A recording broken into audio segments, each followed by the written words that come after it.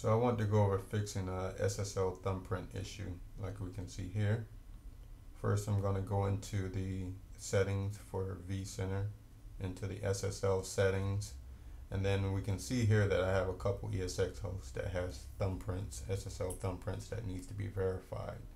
First we should go into the SSH to ESX host um, in order to verify the SSL thumbprint and we can use this command shown here.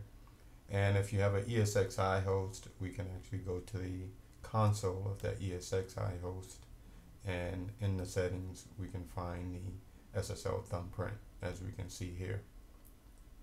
Now once the SSL thumbprint is verified, we can go into the vCenter settings again, uh, check the verified next to the SSL thumbprints if they're uh, valid and then hit OK.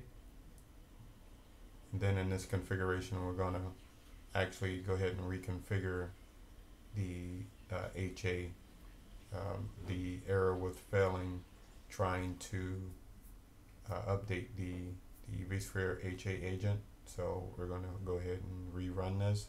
And as we can see, the agents are installing uh, correctly this time.